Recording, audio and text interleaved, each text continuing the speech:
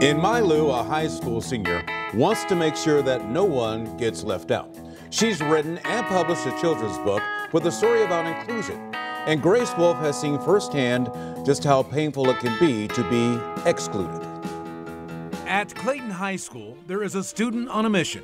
What I'm trying to do is, is create a, a world of understanding. One day, after returning home from school, So, Grace Wolf created a story and she wrote a book. May I sit at your table? I wanted to share something with the world that would explain to people how to react and how to include others that are different. They thought she was different, and so they left her alone. Grace's older brother Sam I'm proud of him, I'm inspired by him. is a big part of her inspiration.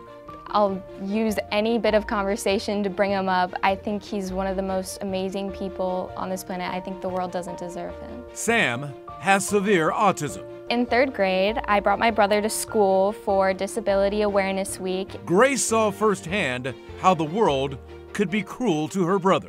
He has a robotic voice, and when he would speak, people would stare at him. When I saw other people reacting like that, it was it was hard, it was horrible. they hugged her tightly. But she's also seen the good in people. Living with him has definitely showed me how people can be empathetic and kind. Traits so that she could learn and make friends. Grace now hopes to show young kids I'm marketing my books to kids, specifically in second and third grade, with her book. trying to understand where everyone is coming from and that everyone has their own story. She's hoping the pages of her story It is about understanding, accepting, and including everyone. Can make a difference. Change the world one book at a time. May I sit at your table I think it's a message that people need to hear. Maybe just the beginning of the impact Grace Wolf intends to make on the world.